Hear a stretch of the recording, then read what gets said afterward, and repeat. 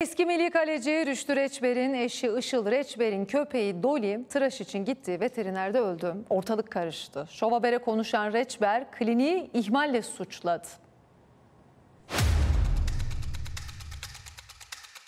Öncelikle çok çok üzgünüm. Sabaha kadar uyuyamadık zaten. Çocuğumuzu, köpeğimi kaybettim. Köpeği tıraş için gittiği veterinerde öldü. Köpek yıkanırken şok geçirdi ve kaybettik diyorlar. Çok canım yanıyor. Işıl Reçber yıllardır köpeğini tıraş ettirmek için aynı veterinere götürüyordu. Fakat bu sefer başka bir veterinere götürdü ve hayatının şokunu yaşadı. Dün çok mutlu bir şekilde gitti. Bir buçuk saat sonra almamız gerekiyordu. Bir sıkıntı olmuş yıkarlarken Dolly şok geçirmiş.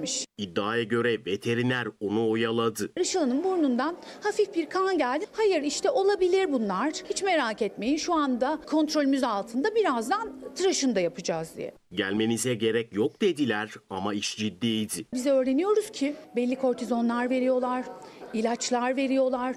En son adrenalin yapılıyor ve bundan benim hiç haberim yok. Hiçbir şeyin iznini almadan entübe ediyorlar. Öldüğünü öğrendiğinde başından aşağı kaynar sular döküldü. Ben çok çok üzgünüm. Bunlar evimizin aileden birer parçaları. Diğer köpeğim de bu sabah o olmayınca bunalıma girdi. Şov haberin ulaştığı veterinerse iddiaları yalanladı. Yaptığımız müdahaleden, işlemlerden tamamen yüzümüz ak. Işıl Hanım köpeğinin vefatından sonra o veteriner hekimden şikayetçi olacak ve yasal süreci başlatacak. Bizler hekimlere güvenerek teslim ediyoruz çocuğumuzu, canımızı. Sonra da onun ölmüş, bitmiş cesedi bize teslim ediliyor.